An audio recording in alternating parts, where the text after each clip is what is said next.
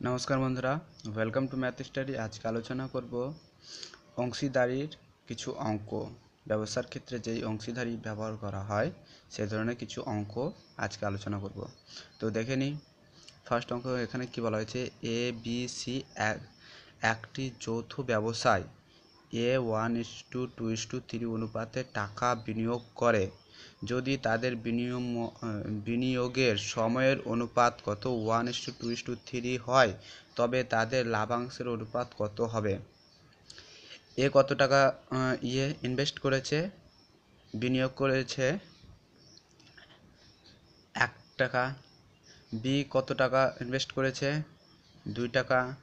C কত টাকা invest করেছে? তিন টাকা। এবার কত সময়ের জন্য? এ এক বছরের জন্য। তাহলে এ এক বছরের জন্য। যদি এটা বছর ধরে নেওয়া হয়, তাহলে এক বছরের জন্য। বি দিয়েছে দুই বছরের জন্য। সি দিয়েছে তিন বছরের জন্য। তবে মোট টাকা কত দিয়েছে? এ এক টাকা দিয়েছে এক বছরের জন্য। তাহলে এক গুণিত এক টাকা, টোটাল কত টাকা? এত টাকা দিল। কে দিল? এ।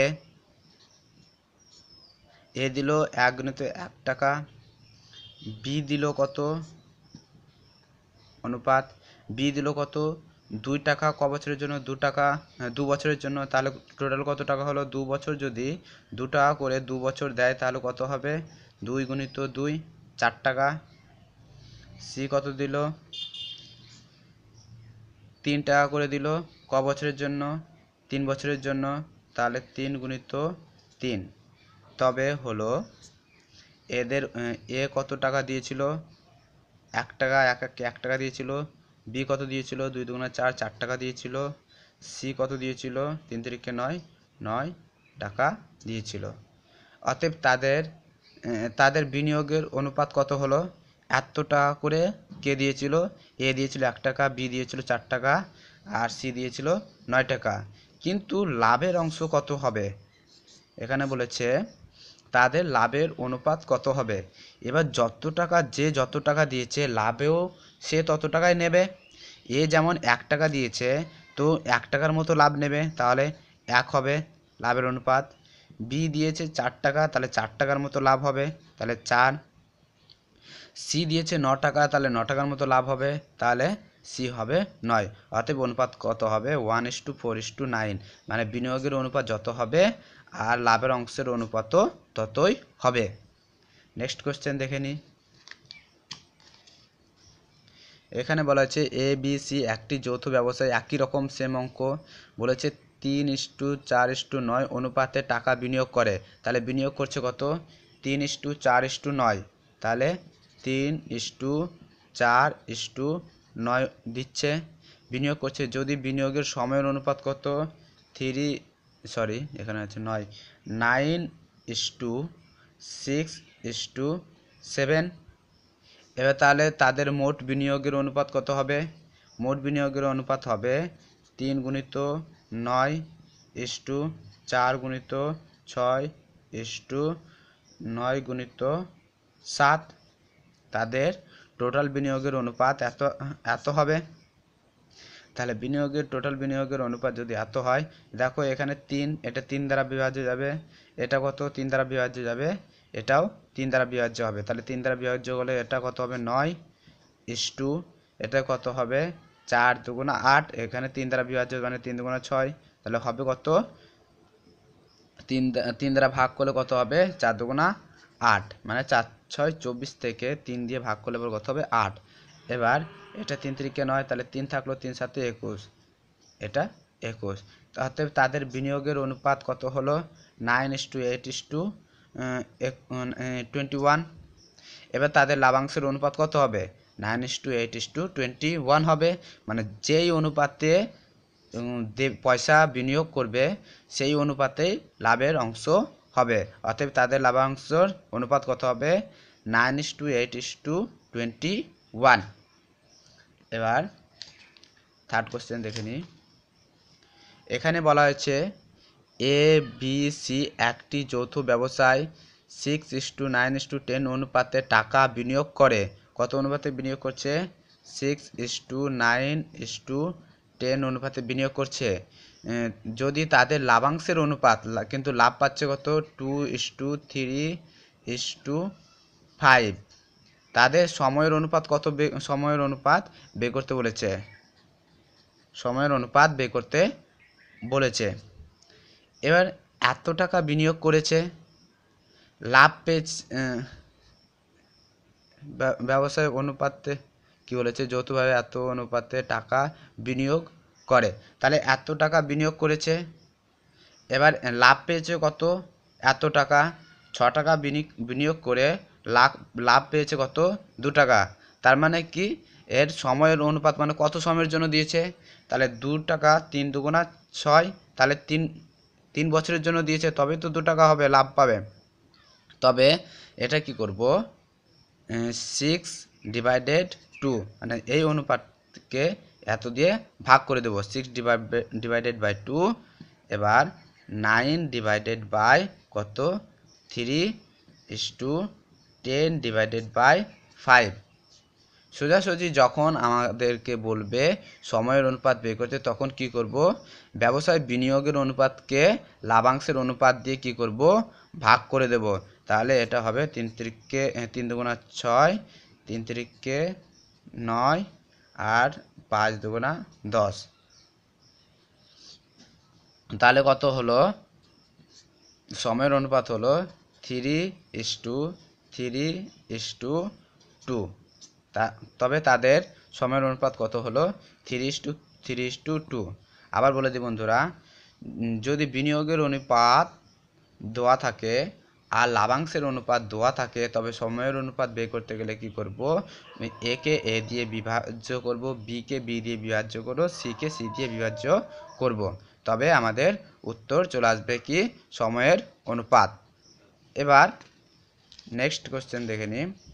এখানে বলা হয়েছে এবিসি একটি যৌথ ব্যবসায় seven to three to two অনুপাতে টাকা বিনিয়োগ করে। যদি তাদের লাভাংশের অনুপাত two is to three is to seven হয়, তবে তাদের বিনিয়োগের সময়ের অনুপাত কত? একই রকম সেম তাহলে সেভেন বাই কত হবে? প্রথমে কি ছিল? Seven is to three is to two তাহলে আবার লিখেই নিই। Seven is to three is to two ছিল। আর ইয়ে লাভাংশের অনুপাত কত পেয়েছিল? Two is to three is to seven তাহলে কী করব? সময়ের অনুপাত বের করতে গেলে এটা দিয়ে এটাকে ডিভাইড করব। তাহলে seven by two is to কী হবে? Three by three is to two by seven তাহলে কত হলো? এটা এটা কেটে যাবে। সাত, দুয়ে চোদ্দ। তাহলে কি করব? এটাকে গুণ করে দিব।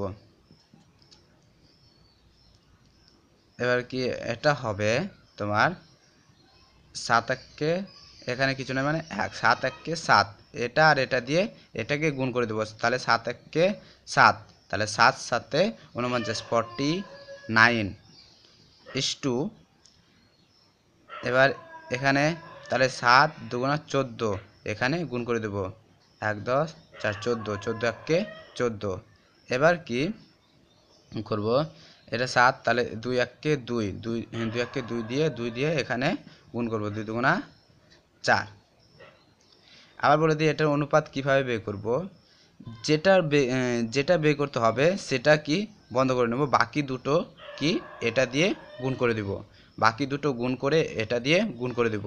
এবার এটা করলাম, তাহলে এই দুটো গুণ করে এটা দিয়ে গুণ করে দেব। তাহলে এটা যখন করব, তখন এই দুটো গুণ করে এটা দিয়ে গুণ করে দেব। তাহলে কত হলো? উনপঞ্চাশ ইস্টু চোদ্দ ইস্টু কত? চার। এটা কি হলো? সময়ের অনুপাত। এবার নেক্সট এখানে বলা হয়েছে এবিসি একটি যৌথ ব্যবসায় কিছু টাকা বিনিয়োগ করে করে যদি তাদের বিনিয়োগের সময়ের অনুপাত দেওয়া আছে কত? One is to two is to এটা কত? থ্রি সময়ের অনুপাত কত দেওয়া আছে? One is to two is to three এটা সময়ের জন্য। এক বছরের জন্য, দু বছরের জন্য আর তিন বছরের জন্য টাকা দিয়েছে। কিন্তু লাভাংশের অনুপাত কত পেয়েছে? Two is to three is to one two টাকা, দুই টাকা পেয়েছে, তাহলে তিন টাকা পেয়েছে আর এক টাকা পেয়েছে।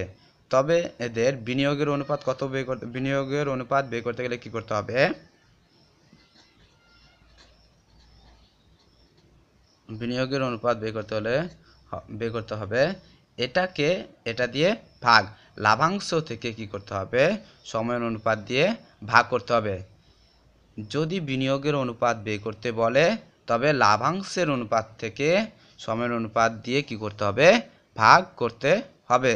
তবে এখানে লাভাংশের অনুপাত কত ছিল? দুই। তাহলে দুইকে এক দিয়ে ভাগ টু। এখানে কত ছিল? লাভাংশের অনুপাত তিন।